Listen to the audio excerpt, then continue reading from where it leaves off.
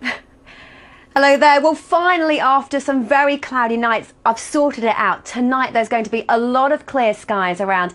This is our very latest satellite picture. In the south, it is cloudy, but north of here we have clear skies. And for many, we keep these very clear skies through much of the night, particularly for North Wales, the Midlands, Northern England, and southern areas of Scotland.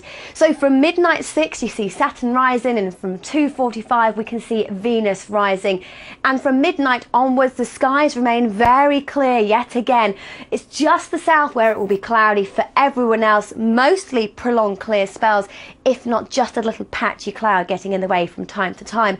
Tomorrow night, more of the same. The south, unfortunately, cloudy. For everyone else, it will be clear, but if it's clear, it will be very cold. Worth bearing in mind sub zero temperatures. You're going to need to wrap up. So, finally, I've sorted out. There are clear skies, Dara and Brian. Fantastic.